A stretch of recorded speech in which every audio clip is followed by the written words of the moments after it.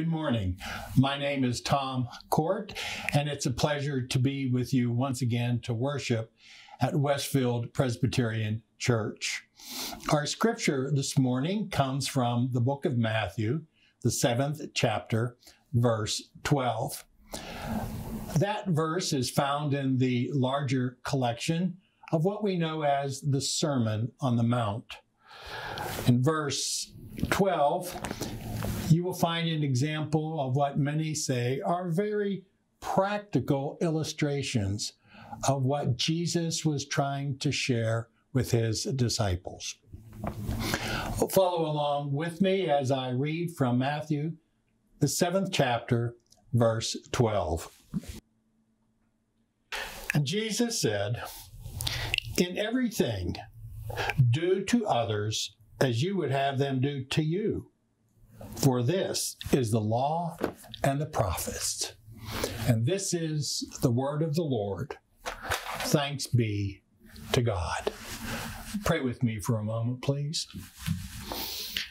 Our gracious God, as we come together once again, we ask that you quiet in us every voice but your own. Amen. Do you remember when you first learned about the Golden Rule? For many of us, it was probably in Sunday school as a child, or at least it was for me. It was in the third grade Sunday school class with Mrs. Brissington. Now, in those days, we were to memorize various verses of Scripture. And so Mrs. Brissington discovered early on that the best way to motivate us, especially some of us who were squirrely boys, was with a bribe. Things like a candy bar or a box of Cracker Jack. Well, the first verse we tackled was from Matthew 7, verse 12. Do unto others as you would have them do unto you. The prize was a Hershey bar and I nailed it. Just as a side note, I also memorized the names of the apostles for a box of Cracker Jack. But there wasn't a bribe big enough to get me to try to memorize the books of the Bible. When did you first learn the Golden Rule? I wonder at times, especially these times, whatever happened to the Golden Rule? Does the golden rule still work? Some years ago, a world economist wrote that the world still operates on the golden rule. That is, he or she who has the gold makes up all the rules. Interestingly, Jesus never owned a piece of gold in his life. And yet, he lays this rule down for us this rule for life do unto others as you would have them do unto you. Now, I need to hurry along and say that a form of the golden rule is an ancient maximum found in practically every culture and religion, and many of them hundreds of years before Jesus was born. In the Jewish Talmud, for example, you will find what is hateful to you, do not do to your fellow men. The Buddhist faith has this saying hurt not others with that which hurts you. And the list goes on and on. It makes me wonder that since it was around for ages, why did Jesus bother to say it? And what difference does it make that he did say it? Well, as a young boy, Jesus learned the teachings from the rabbis. I'm not sure if they had to bribe him like Mrs. Brissington had to bribe us, but he would probably have memorized these first century teachings. Do not do to others what you would not want done to you. Which, at first blush, sounds exactly what Jesus said. But not so. Jesus takes what the great rabbi said and gives it his own holy twist. Instead of stating it in the negative, do not do, he spins it and puts it in the positive. Do unto others as you would have them do unto you. In essence, he, he puts it in motion. Do, do unto others. Listen up, Jesus said. If you're going to follow me, you must love one another as I have loved you.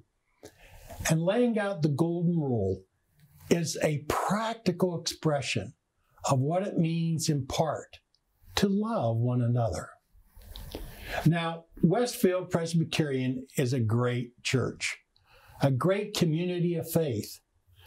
But we always need to remember that we are not here to love only those who love us or to care for those who only care for us.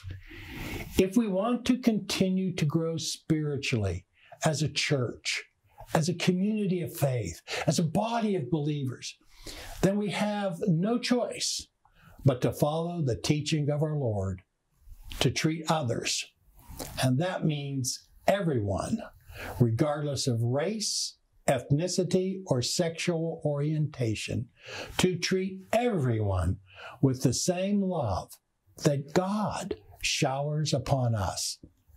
Some time back, a professor of philosophy at John Carroll University wrote an article titled, Treat Others as You Would Want to Be Treated.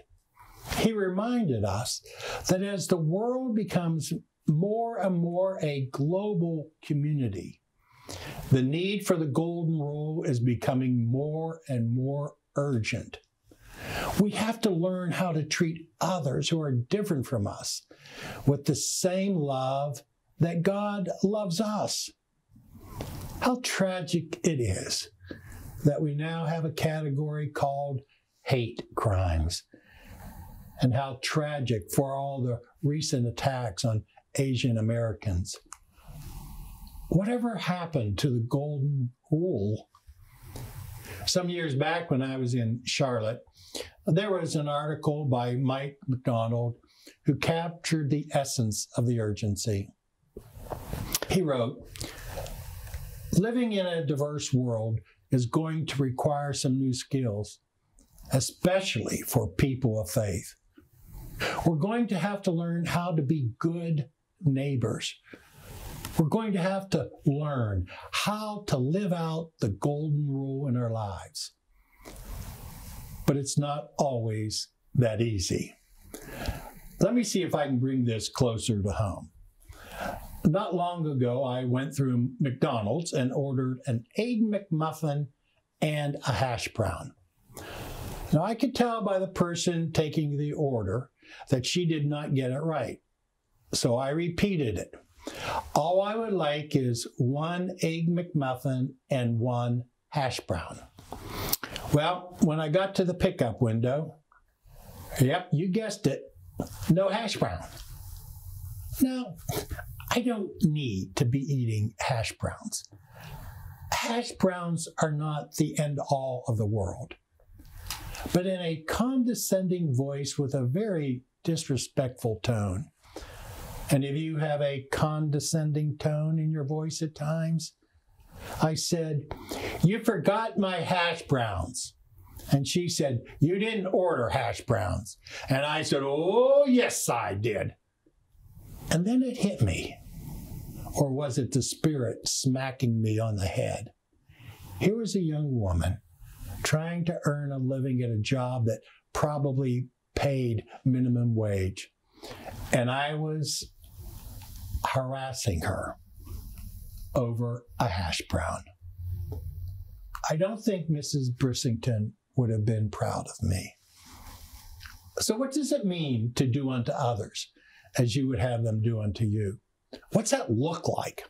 Well, here are three simple principles to try to put into place as we all try to live out the golden rule. So if you don't know where to start living out the golden rule, well, try these on for size. And here's the first look for the good in others. Stop being a fault finder.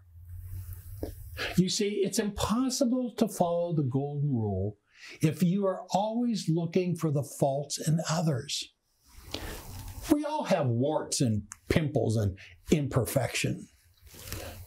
One likes a fault finder, even Jesus.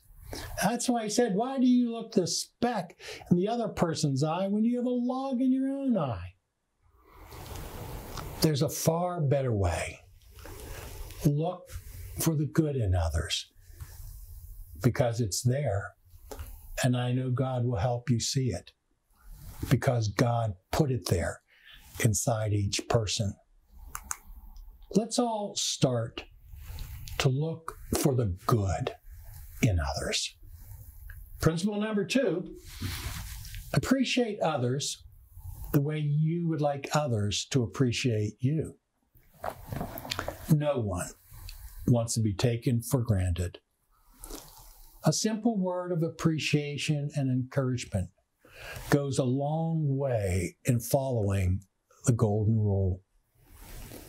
Every day, every day, let those around you know how much you appreciate them. Believe me, they'll love you for it, and you'll actually feel better for having done it. Let's all start to show appreciation. And lastly, respect and accept people for who they are and not for what you want them to be. And isn't that exactly what Jesus did? He always accepted people as he found them. And he also helped them see what they could become. In other words, he restored their sense of self worth. He gave them respect and dignity because each one was a child of God. And in doing so, he helped them believe in themselves because God believed in them and they loved him for it. Never have we needed a deeper sense of respect and dignity for other people than we do today. So there you have it. Look for the good in others, show appreciation, be accepting. It's time we all polished off the golden rule and started to live it. Not because of a Hershey bar or box of Cracker Jack, but because Jesus said, Do unto others as you would have them do unto you. Amen and amen.